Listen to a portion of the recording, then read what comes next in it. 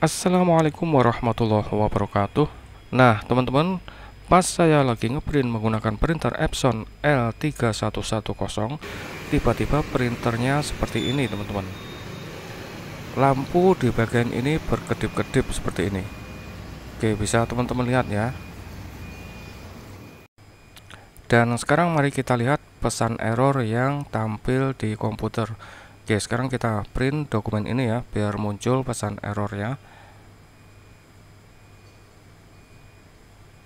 kita pilih dulu printernya Epson L3110 oke kita print nah pesan errornya seperti ini teman-teman A printer's ink pad is at the end of its service life. Please contact Epson support.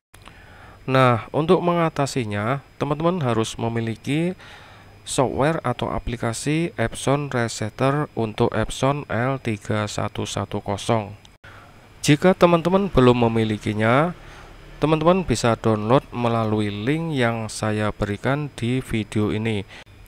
Oke, kita lanjut. Setelah teman-teman download software atau aplikasi Epson Resetter, kemudian cari hasil downloadnya ada di folder mana. Oke, ini ada di sini ya. Kita pastikan dulu, kita coba buka. Oke, ini dia. Setelah kita pastikan, kemudian kita ekstrak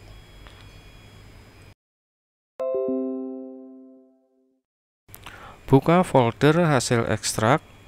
Oke seperti ini isinya ya. Kemudian kita buka AJD proc copy kode lisensi yang ada di kolom lisensi ID for registration. Kemudian buka keygen.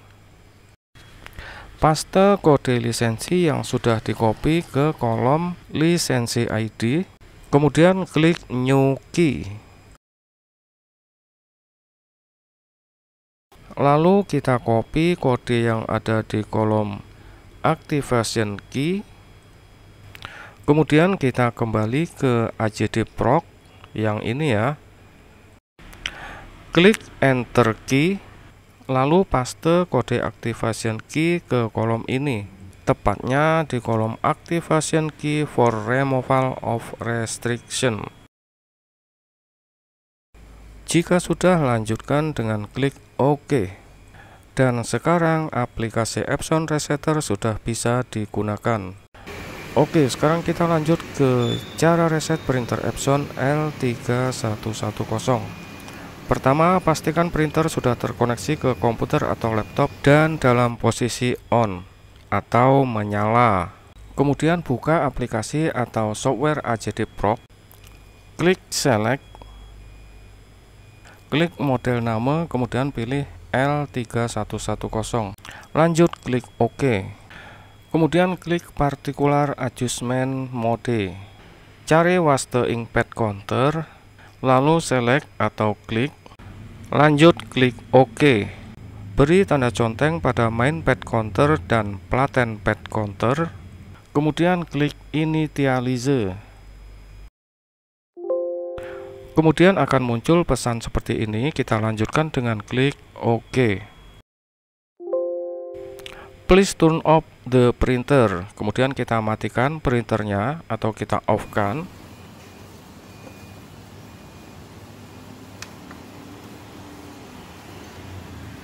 Jika sudah dimatikan, kemudian kita klik OK. Jika sudah muncul pesan seperti ini, kemudian kita on-kan lagi printernya. Setelah kita on-kan, lalu kita klik OK. Dan sekarang kita coba tes print. Kita buka Windows printer. Kita pilih Epson L3110. Oke, tes print kita lihat ke printer. Printernya mulai kedip-kedip dan oke okay, pekerjaan kita berhasil teman-teman. Jadi printer saya sudah normal kembali Alhamdulillah. Dan sekarang sudah siap lagi untuk terima jasa print milik pelanggan.